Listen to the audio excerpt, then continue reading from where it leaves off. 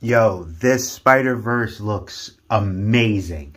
Now, until, uh, if you didn't know, until Far From Home came out, my favorite Spider-Man movie, and I think the best Spider-Man movie was Into the Spider-Verse. And I feel like this one's going to do something, and I noticed that is, I think, if I'm not mistaken, it's not called Into the Spider-Verse Part 1 anymore. So I'm wondering if they're going to do it where it's like, they're just going to be like, you know what, we're just going to make the sequel, and that's going to be Part 3. Uh, the What's Up Danger song, I'm starting to think is his theme song. I'm all about it.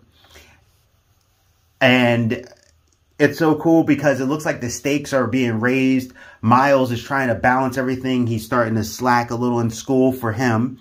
Um, now he's getting like B's and stuff like that. Uh, also, he's not paying attention uh, I know my one friend is having an amazing weekend right now with trailers because he loves Blue Beetle the way I love Red Hood. And we talk about Spot and how he's like, Spot is like what is like maybe his favorite Spider-Man villain. He's like, that villain is so underutilized. And the fact that they're utilizing him, I'm like, this dude's having a great weekend. Um, I love the fact for me personally that I got to see uh, in here, you'll see it in there, Spider-Man Unlimited because I actually like that show. I know a lot of people are like, ah, I actually did like that show. And I thought it was cool because it was kind of like 2099, but kind of not with the nanobot thing. Uh, they were trying to up update it. So the fact that that character is in there, I think is pretty freaking awesome. I also love seeing some of the suits. Uh, I can't wait to see because I'm hearing that uh, the Japanese Spider-Man is in there, which a lot of people don't realize is the um, Spider-Man, which is like the first live action Spider-Man and he had Leopardon, which kind of kicked off Power Rangers and Super Sentai pretty much.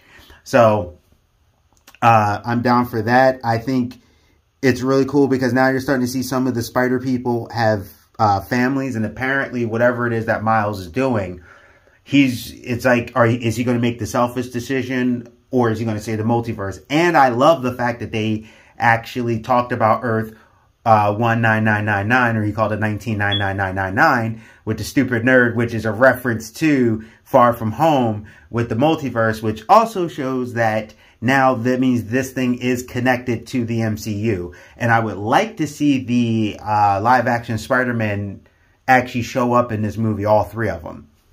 So, uh, so far, it looks like Gwen is kind of stuck in the middle. This version of Jessica Drew, I know some people were upset because she's black, but I'm like the multiverse. But her look, her clothing look was that Jessica Drew outfit. I don't know if they changed it, but it was like that updated outfit where she could like open the jacket and it was like a quick way to change her costume. Um, but Jessica doesn't normally, a Spider Woman doesn't normally have like that kind of webbing. She usually has like the shocking thing and she can like stick to stuff. Where this one looks like she has like silk style of webbing out of her fingers, and she's pregnant, which they did do that pregnancy thing with Jessica Drew. So it's definitely like an alternate universe version of Jessica Drew with the new costume, and she was pregnant, but she seems more spider like because she also had the motorcycle. Um, I like that they did the whole you you you you you uh, kind of thing. Um, that meme is still funny, and it looks like he has to go up against the spiders, but Miles has a new lesson where it seems like he has to learn who he is and the type of Spider-Man he wants to be and not what everybody wants him to be. I feel like Spot is going to be a situation where it's going to be like, ah, he keeps messing it up, and then like later he finally gets him. Uh, so that's going to be interesting. And I will like to know stakes. I don't know if it's like he has to save his father, uh, like within the comics, or is it something more, or is he like I can do everything?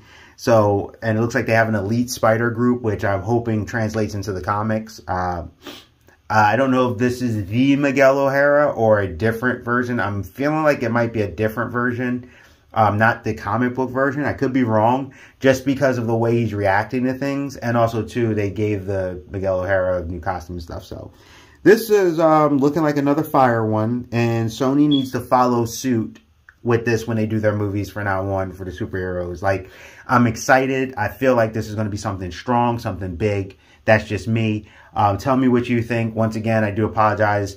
I don't want to get hit with the copyright thing again, so I just do the images. Uh, Geek Protagonist, you stay safe, you stay healthy, stay real. Have you seen the trailer? It's looking good. See ya. We'll be right back.